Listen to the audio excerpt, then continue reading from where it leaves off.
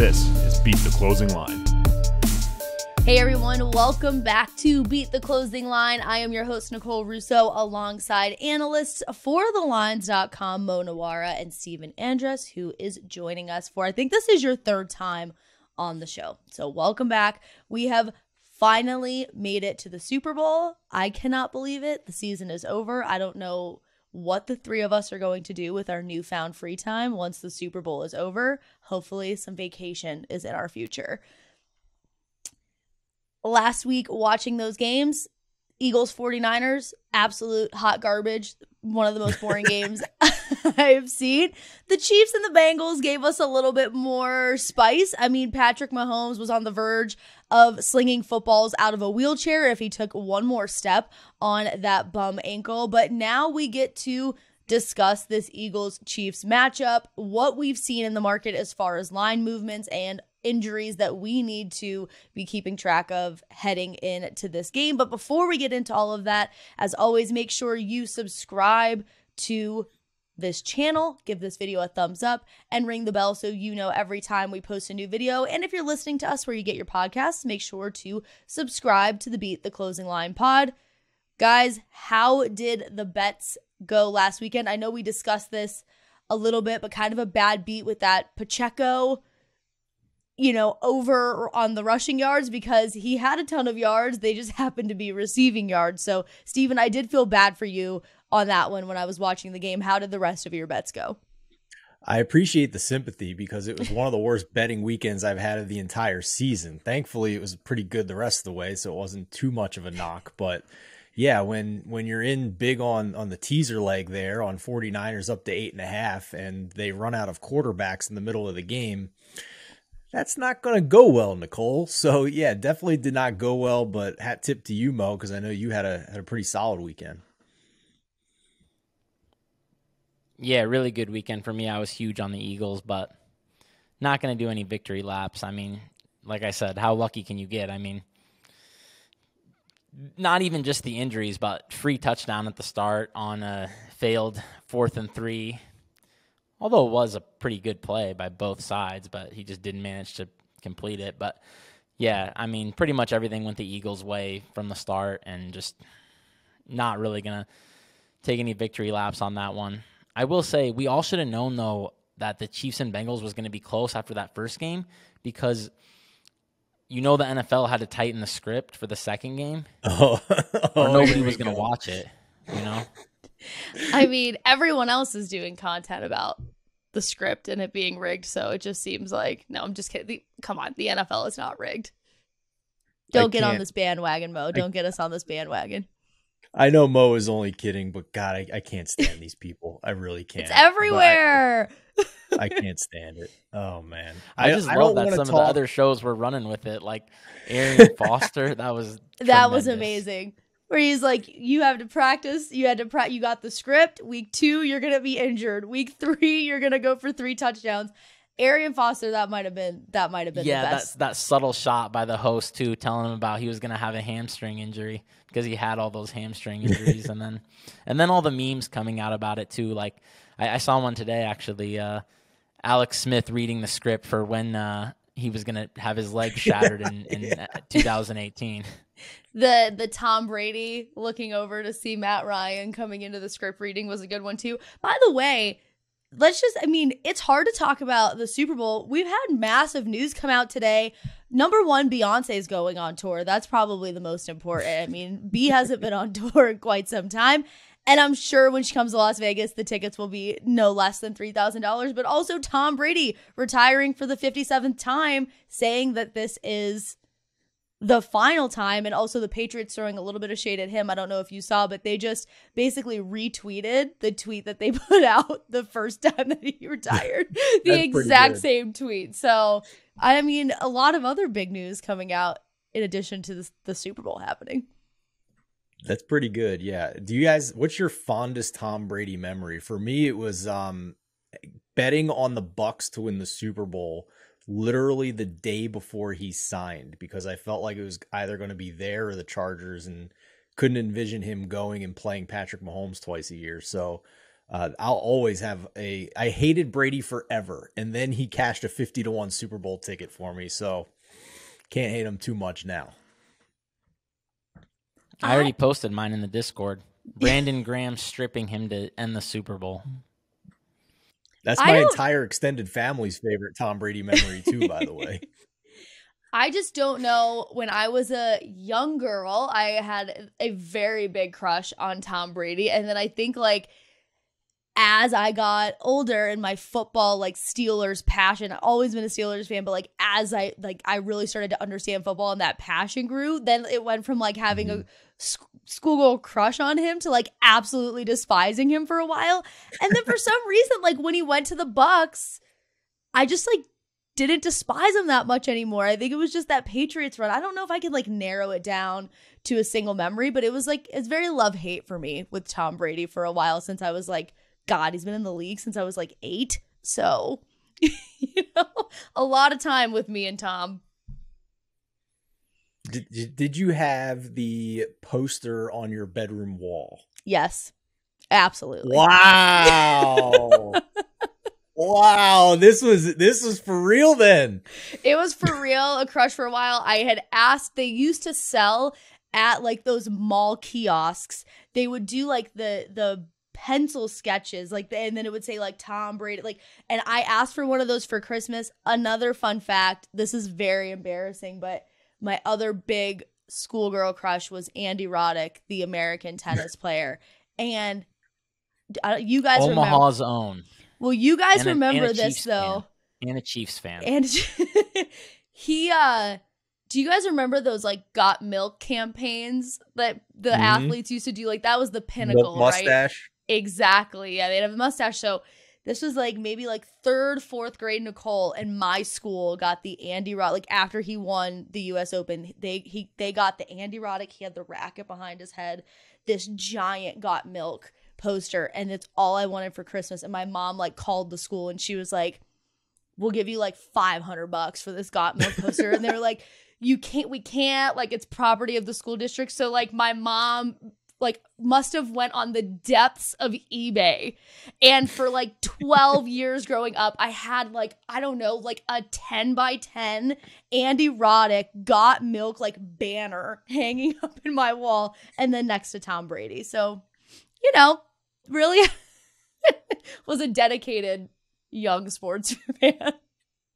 Well, well, I know what to get you for a wedding present now, so thank you for that. Oh, I'm sure. Yeah, I'm sure my future husband will be thrilled with it. I, I honestly wish I kept it. I don't know like where that Andy Roddick got milk banner went to. Maybe, hopefully, it's donated to some school in Omaha. Mo and I will check the depths of eBay and see if there's still one out there somewhere. From I think it was like 04. You know, it's like a it's like a classic relic now. But shout out to Andy Roddick. He's on the new Netflix documentary Breakpoint, doing a very good job commenting on that. But all right, we'll get. I'm embarrassed myself myself enough, so we'll we'll get into the Super Bowl. um, when it comes to this matchup in particular, we've seen a decent amount of line movement. A lot of that's had to do with injuries. Right now, the Eagles are sitting at about minus one and a half. But earlier in the season, and C- Stephen, you're going to touch on this, the Chiefs probably would have been favored on a neutral field. So we know Hurts has been dealing with the shoulder injury. We've got Mahomes. We saw him clearly struggling with that ankle injury. And we'll talk through these teams' injuries a little bit later. But, you know, the line has been fluctuating. So talk us through where it was before, Stephen, where it's sitting now, and key takeaways that we should get from this. Sure. So so Sunday night, right after the AFC title game ended, Super Bowl odds opened up at all the major domestic books, and the Chiefs were a small favorite. They were one one and a half point favorite. In less than an hour later, the Eagles were two and a half point favorites. That's come back a little bit since. So we're basically sitting at what like one and a half right now. So that was a very interesting fast move to me to go from Chiefs favorite to Eagles two and a half because if you looked at the closing lines throughout the season at various points along the way, there was no point during the regular season where the Eagles would have been even a pick 'em on a neutral field against the Kansas City Chiefs, let alone a favorite. If you went back to the Eagles bye week, the Chiefs would have been about a two point favorite on a neutral field, but less than a full field goal. If you go to late November before Jalen Hurts' injury, Closing lines indicated KC would have probably been close to a two point favorite, maybe a little less at that juncture. So the rating was still being bumped up for the Eagles, but still about a two point underdog to Kansas City. So to me, the Super Bowl is literally the first time all season long that Philadelphia is favored over Kansas City on a neutral field, which is, I mean, Mo, you have more experience in this than I do, but in my limited experience over the past handful of years, I can't see that. I can't remember a time where there was that big of an upgrade for a team from the title game to the Super Bowl to a point that we haven't even seen them at any point throughout the season. So I'm curious what your reaction was to that, too. I, I think the same as yours. Um, I'm I'm really surprised. Uh, just really a, a strange situation, uh, kind of baffling to me that the Chiefs have been immediately moved to underdogs. I, I don't know what we saw this weekend that's making a material difference in the line, I guess.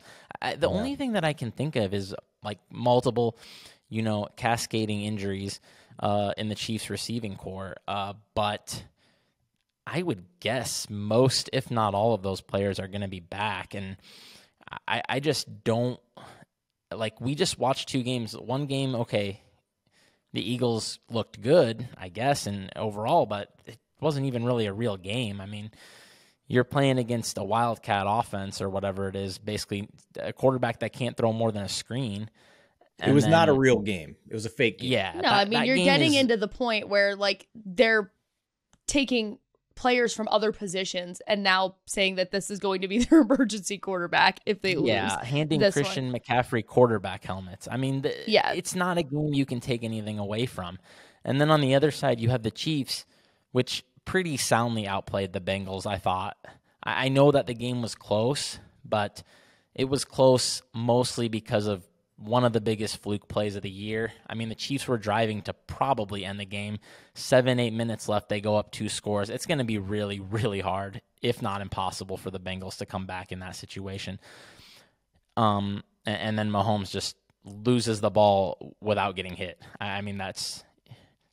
I've been watching Mahomes play football since the day he walked in the door, basically, and that's never happened. So um, I don't think it happened to that, Josh Johnson, a fourth string quarterback, in the game before. Like that's a fourth string quarterback thing that happens, not to the greatest quarterback that may have ever set foot on earth. It was just the yeah, like wild mo. It, it was a complete fluke play that got the Bengals back in the game. And, and if you just look through that box score, it's obvious that the Chiefs outplayed them. They had more yards, they had more yards per play, they had more sacks, they had fewer turnovers. I, I thought they were better on special teams. Uh, the punting game in particular was very good to the Chiefs. That return, obviously, by Sky Moore, but I, I think Tommy Townsend pinned them inside the 10 a couple times. He, he was probably the best punter in the NFL this year. I mean, underrated weapon for the Chiefs for sure. Not one they break out very often, but he was very good. So no surprise there. Butker makes a long. I mean, the Chiefs were just better in basically all phases of football, and I think when you look at you know, uh, Football Outsiders, they do the post game win expectancy. I, I, think it tells the tale. I mean, yeah, the score was close, but they had the Chiefs ninety percent to win that game based on the the happenings on the field. And, and then the, you have an Eagles team that I, am not saying they're not good.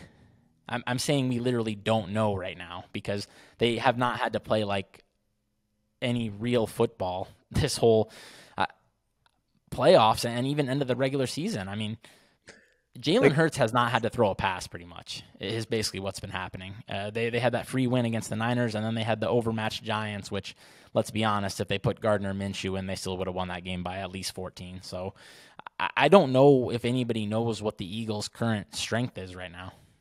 Yeah, Nicole, just to kind of punctuate this, I I don't think any of us are saying that the Eagles aren't that good. They're they're clearly a very good team. All season we've said they're one of the four best teams in the league. But this line is a point in which we haven't seen all year with Patrick Mahomes as the opponent here. So, from a process perspective, for me, plus money on Kansas City seems like value here if you are somebody that is just looking at the Super Bowl as just one of more than 100 games that you bet throughout the course of an NFL season. If it's just one out of 100, then you're going to take the long game You're going to go by process and you're going to take what you think is probably some good value here on Kansas City plus money on a neutral field, which you wouldn't have gotten against any other opponent other than Buffalo the entire season. Now, if you're looking at a more specific analysis of this game, you want to get into the weeds a little bit, then yeah, I do certainly think there are some arguments to back the Eagles in this game, but you are assuming and hoping that those conclusions are correct based on nothing that we've actually seen in the playoffs at this point. They they had a fake game against the Niners and they had an inferior opponent against the Giants. They didn't have to play the Bengals, they didn't have to play the Cowboys, and they didn't have to play the 49ers at full strength. So, you know, ultimately we're basically talking about a money line here, right, Nicole? Like less than 5% of NFL games actually land on one point. So, to me the line movement that we've seen back and forth here a little bit is largely insignificant. These are numbers under 3 for perspective, 14% of NFL games, almost three times as many land on three as they do on one. So, you know, it, the line movement here isn't really all that significant, to be honest with you, but it's at least interesting that we've reached this point for an unprecedented rating for the Eagles. Yeah, I mean, I think for most of us, we're excited to see the Eagles play a living, breathing offense and see what they can do. And I agree with you, Mo taking a look at the Chiefs against the Bengals, the box score, like the, the score at the end of the first half, was not indicative of the fact that the Chiefs basically controlled the ball the entire first half. I mean, the first half score, like heading into halftime, was kind of shocking. Um, so yeah, this will this will be exciting, but I do think that there are a lot of injuries on that Chiefs team that are going to uh, factor in here. Now, we know that they get a two week break, so it's a little bit more time for them to recover. So let's go ahead and, you know, jump into these injuries because they might be factoring into what this line is. Now, like we said, at the end of the game last weekend, I don't even know who Mahomes had left to throw the ball to. Like it would just seem like every receiver was going down. You had that injury to Sneed. Obviously, the Eagles are dealing with their own injuries, but the Chiefs just couldn't catch a break last weekend. So, like, what are you looking out for? Like, what did you see? Do you think these guys are going to be healthy in two weeks' time? You haven't heard of Marcus Kemp? Is he Shawn Kemp's brother? I, I actually at this don't point? think I know I knew who Marcus Kemp was. Um, Mahomes said he threw to him on practice squad days back in his first year, so he must have been hanging around for a minute. I mean, um, but everyone was down. Everyone was down. Yeah, was and Mahomes crazy. was hobbling out there. I mean, yeah. good for them for for stringing the win together because that was. I mean, it that was the. I was worried that they. I mean, they controlled the ball don't get me wrong, but like towards the end there, I was like, oh my god, like how are they going? Yeah, to physically get into the OT. end zone. It might get a little hairy for the Chiefs' offense for sure. Um, I thought Mahomes didn't look great when I saw the videos last week of him moving around in practice. So I'm hoping we see some better videos in the next couple weeks. That being said, he played very, very well. So um, I think we can only assume he's going to be in pretty good shape. Um, it did seem like his ankle kind of wore down as the game went on. He was definitely having more plays where he was limping off near the end of the game than early on. Um, and, and yeah, the the wide receiver situation. Uh, this is definitely a situation where I, I think if the game was this week, the Chiefs would be in some serious trouble here potentially. Like, but multiple weeks to recover for what seemed to be fairly minor injuries, but just like the kind of injuries that you might not be able to play through in one week, but maybe you can in two. I don't know. That's just my rough guess of the situation. I would think Mecole Hardman, Kadarius Toney, Juju Smith Schuster, they all got banged up, but I would think they're all better than 50 50 to play.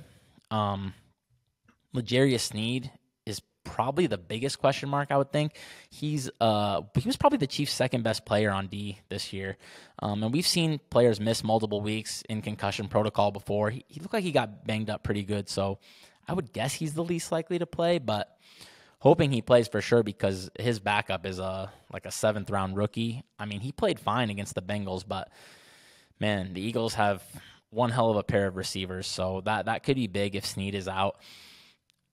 I would say honestly though the most impactful the most impactful injury to me is honestly probably Jalen Hurts, though. I, I don't think he looks good. I don't think he looks like himself. The stats say he's not himself. Um, he has not had more than 39 yards rushing since he came back. Um, he has not had more than 6.5 yards per attempt passing since he came back. And for reference, he had a full season average of eight there. So two total touchdowns.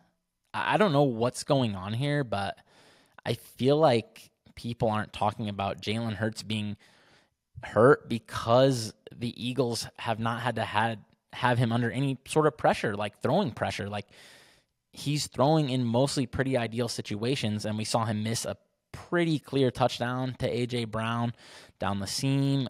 We saw some other misses. I don't think he looks good at all right now. I'm curious if your eye test is, is saying the same, Stephen, because I just am pretty skeptical of what Jalen Hurts can do passing right now.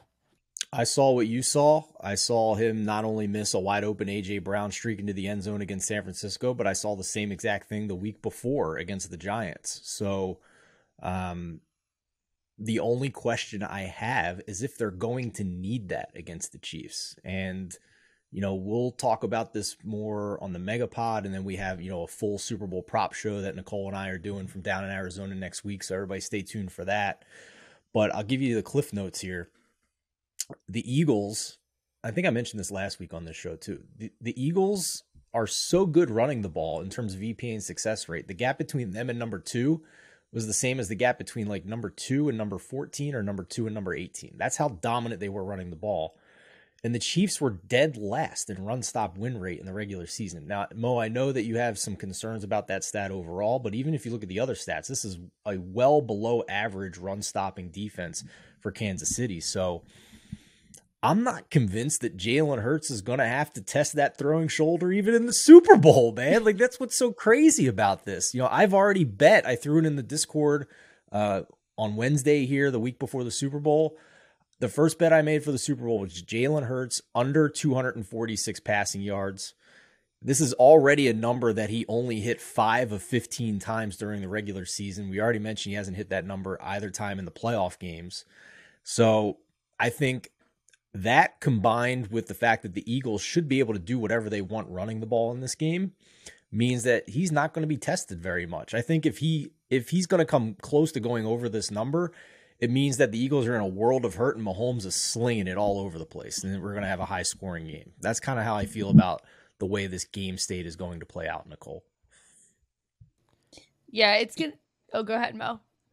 I, I think this is one of those things that it looks bad on paper, which maybe it doesn't even look as bad as I think in some some respects. Like you look at EPA and DVOA, those stats do not think the Chiefs were that bad, roughly average. Um, my eyes told me they were pretty poor for a lot of the season. I think they honestly improved a lot as the season went on. The defense was just playing a lot better near the end of the year, but I, I think this is just one of those things where this always looks like you can run the ball on the Chiefs on paper every single year in the playoffs, and it just never happens. I mean, it just doesn't happen really. The Niners did an okay job in the Super Bowl, and that's really the only game where I can remember that anyone was like pretty good running the ball, and then that still wasn't enough. It's just really hard to beat high level playoff teams with one dimensional, especially when the Chiefs, I know that they don't have like an amazing collection of talent, although it's certainly better than it's been in years past but people need to start giving some credit to Steve Spagnuolo. He is probably one of the best defensive coordinators in the NFL. I think he's done amazing work with the Chiefs over the years, and he should be ready and, and he should be having a plan that's going to make Jalen Hurts uh, make a play, I would think. Yeah, this is just an interesting Super Bowl for me just because I don't know when the last time we've had two teams in the Super Bowl that have both quarterbacks injured and just have like such big injuries that we have to – try to account for. I will say that I just the thing that worries me with Mahomes is basically, you know, he doesn't really have the ability to scramble. Like every time he was scrambling, I was like I couldn't even look cuz I thought, you know, he was going to break that ankle. And then It was ugly. It was ugly. Like it it like you know he's struggling out there and and when we talk about that fumble where you know he didn't really get touched and he fumbled the ball if he was able to plant on that ankle, he probably would have been able to fall on the ball. But he's trying to baby the ankle. He's trying to get around and like play. And by the time he he gets on the other ankle to try to plant, uh, you know, the Bengals are on it. So this one's tough for me. I'll probably be betting on some fun props while we're in Arizona, and you'll see me going around to sports books and you'll see me betting on some of these props. But as far as the spread, I don't know if I'm going to be betting on that for the Super Bowl. What I will say though, and this is just my last, this isn't even really a betting thing, but I happened to be watching the game at a Chiefs bar last weekend for one of my best friends. And the Chiefs fans are just like so positive about their team, which is really something as a Steelers fan, like you never get. Like the Steelers fan, to us true Yinzer Steelers fans, like if you talk crap about the Steelers, like we'll back our Steelers up. But it's like when it was Roethlisberger, like stupid Roethlisberger, it's time to retire. You're so old, can't move. Like it shouldn't be Pickett. Like you know, Pickens should have caught that. Like we just crap on our team incessantly. And the Chiefs fans are so nice to their players. They're like, Mahomes, you got to protect yourself out there. Like, you're the best quarterback in the league. Like, it's okay, buddy. And so it was, it was very refreshing for me to, it, it was actually kind of, it was refreshing, but very odd to me to be around like hundreds of people that are just so positive, even when, you know, Mahomes fumbles the ball without being touched. Steelers fans would never, never praise their quarterback after that. So good fan base you got going on there, Mo. They better be, Nicole. They found the golden goose for God's sakes. Like Mo, be honest. Like, was it like this when Alex Smith was under center for Kansas City? No, definitely not. Football's too easy when you have Mahomes. That's the problem. so it's a Mahomes thing. It's not a Chiefs it's thing. Boring. Yeah, that's what I used to say with, with my buddy. It's boring. You just Chiefs go down ten. You just yawn, make a snack. You come back. It's probably fourteen to ten. I mean, yeah, not too worried about too easy it. when you have the best quarterback in the world. Well, makes sense. This this definitely isn't actionable betting information, Nicole. But the last two times we've had Super Bowls with spreads of less than two points, we got some good ones. We had the the Chiefs Niners Super Bowl, which was a huge fourth quarter comeback. And then we had the New England Seattle Super Bowl where Russell Wilson throws a pick on the goal line to end the game and, and, New, and New England wins at 28 24. So if the spread is any indication, we might have a classic on our hands here. And we better have a freaking good halftime performance. That's all I'm going to say. There are high expectations on that halftime performance. But all right, guys, this I don't are we coming back next week? I don't know. I think this is this the last show or are we coming back next week? I think this is probably it, right? We have we have the megapod this week that will, you know, Adam and Matt will give kind of their expectations going in and then we'll have our bets on the megapod in particular and then you know the three of us will reconvene with our entire line staff on the Super Bowl props special that we're doing down with Caesar Sportsbook in Arizona. So it's going to be a lot of fun. We're going to have that special show, but I think this is it, guys. So thanks for having me on the last few weeks while Eli's been on leave. Yeah, and just for everyone that's tuned in this season, thank you so much. It's been a blast chatting the NFL with you. And if you're betting on the Super Bowl, good luck on your bets as always. And like Stephen said, I will be down in Arizona. Stephen will be down in Arizona, and we will be doing a special Super Bowl prop show with Caesars at the Super Bowl Media Center. So make sure that you're watching out for that next week on YouTube as well as on social because we'll be clipping that up and putting it on social. So good luck with your bets. Thank you all for joining us, and we will see you next season.